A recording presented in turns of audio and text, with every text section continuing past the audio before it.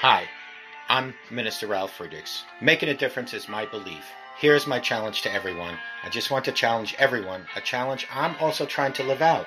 No matter how busy you are, there is always something you can do to brighten someone's day. Give someone a hug. Send a text with an inspiring quote. Friends, mail a heartfelt card. Tell someone how much you appreciate him or her.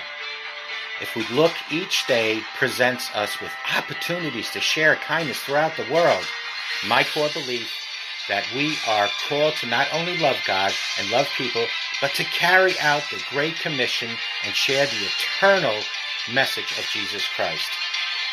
My goal is to help you reimagine your life and let go of the thoughts and behaviors that undermine you so that a renewed and fulfilled you can emerge starting today.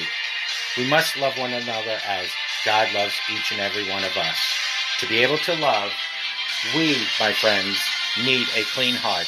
Prayer is what gives us a clean heart. The fruit of prayer is deepening of faith, and the fruit of faith is love. I hope each and every one of you remember to show compassion and have a, a great life ahead of you with Jesus Christ. Good morning. My name is Ralf Friedrichs. I am an author, an addiction recovery coach, a life coach, a minister, and the host of this show, the Take Your Life Back Today radio show. You can see a video version of this if you go to YouTube under channel Take Your Life Back Today show. Listen to us on iHeartRadio, iTunes, Google Music, Amazon Music, and other digital platforms that are available to you. You know, strength is a mighty gift to have from God. With uh, with strength, you can have many options you can have um, strength to to make it through a, tough time in your life, strength to accomplish a difficult task. You can have strength to overcome overwhelming uh, uh, circumstances in your life as well.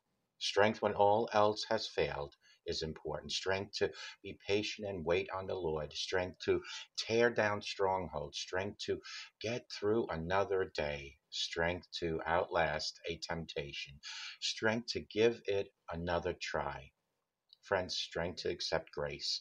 Strength to face your deepest fears, strength to start over and over again, strength to admit when you're wrong, and strength to accept your weaknesses at all times. Strength to trust in God.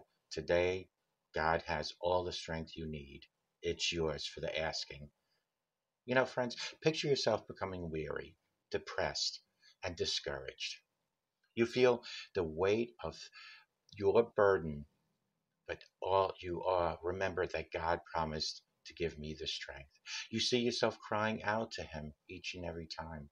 You call out to God by faith, and He heard your cry, and He gives you strength you need for today. Struggles became my strength, and God is my strength. Call me at 844 You know, We can help each other take a life back. Be good to yourselves. Always be good to each other. And some, remember, a simple smile to anyone can change their life and it can make a difference in your life too. Just always remember that God truly loves you and have a great life with Jesus Christ in your life. Turn to God for strength so that your struggles become your strength. Take good care and we'll talk to you guys tomorrow. Remember, God truly loves you. Take care.